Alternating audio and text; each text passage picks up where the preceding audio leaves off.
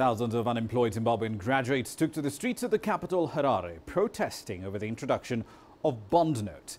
Zimbabwe Central Bank has unveiled plans to introduce these notes in October in order to stem a stubborn cash shortage despite fierce public resistance. You see, since January 2009, the Southern African country has been using a range of foreign currencies, including the American dollar, the British pound, the Chinese yuan, the South African rand, after abandoning its own currency.